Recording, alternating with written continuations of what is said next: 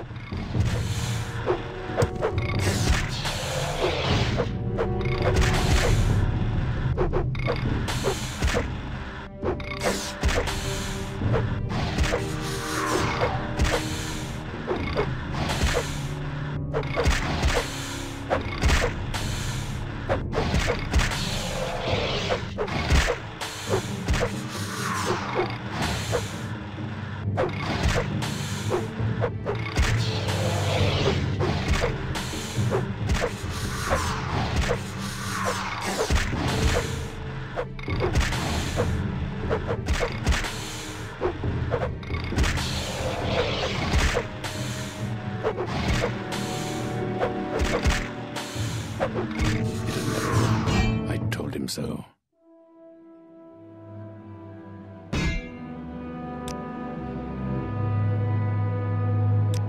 If a few words, be happy to talk.